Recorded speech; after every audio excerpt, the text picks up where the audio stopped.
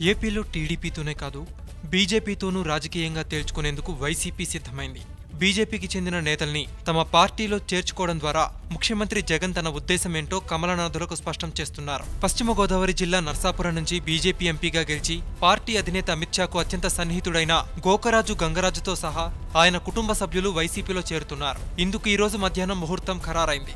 BJP కంటే ముఖ్యంగా RSS వీహెచ్పీతో సన్నిహితంగా సంబంధాలున్న గోకరాజును చేర్చుకోవడం వెనుక రెండు ప్రధాన లక్ష్యాలు కనిపిస్తున్నాయి. అదే సమయంలో తమ కంటే ఢిల్లీలో బీజేపీ నేతలతో ఎక్కువగా సన్నిహితంగా ఉంటున్న సొంత పార్టీ ఎంపీ రఘురామరాజుకు సైతం ఈ నిర్ణయం ద్వారా పరోక్షంగా చెక్ పెట్టాలని భావిస్తున్నట్టు కనిపిస్తోంది. ఆంధ్రప్రదేశ్ రాజకీయాల్లో గోగరాజు గంగరాజు మొదట్నుంచి బీజేపీకి సన్నిహితంగా ఉంటూ కీలక నేతగా ఉన్నారు. వైసీపీ ఎంపీ రఘురామరాజు బీజేపీ నేతలతో సన్నిహితంగా ఉంటూ గెలిచిన పార్టీ నేతలతో మైండ్ గేమ్ ఆడుతున్నారని వైసీపీ ముఖ్య నేతలు భావిస్తున్నారు. దీంతో ఆయనకు చెక్ పెట్టేందుకు గోకరాజు కుటుంబాన్ని వైసీపీలోకి అదే నర్సాపురం నియోజకవర్గం నుంచి పార్టీలోకి తీసుకుంటున్నట్టు తెలుస్తోంది.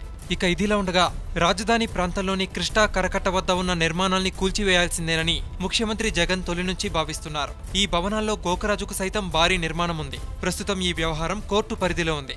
అయితే గోకరాజు కుటుంబాన్ని పార్టీలో చేర్చుకోవడం ద్వారా ఆయనకు ఆర్ఎస్ఎస్ విహెచ్పితో ఉన్న సత్సంబంధాలు ఇప్పుడున్న పరిస్థితుల్లో రాజకీయంగా మేలు చేస్తాయని వైసీపీ భావిస్తోంది. ముఖ్యమంత్రి జగన్ లక్ష్యంగా హిందూ వ్యతిరేకి ముద్ర వేసే ప్రయత్నం జరుగుతున్న సమయంలో ఈ చేరికల ద్వారా వారితోనే ఈ విమర్శలకు సమాధానం చెప్పించాలనేది వైసీపీ నేతల వ్యూహంగా కనిపిస్తోంది. ఇక ఇప్పుడు అటు ఢిల్లీలో ఇటు ఏపీలో మారుతున్న రాజకీయాలు తెర వెనుక వ్యూహాలతో బీజేపీతో సైతం రాజకీయం మొదలు పెట్టాల్సిందేనని వైసీపీ భావిస్తోంది. అందులో తొలి అడుగు ఈ మధ్యాహ్నం గోకరాజు కుటుంబం వైసీపీలో చేరిక.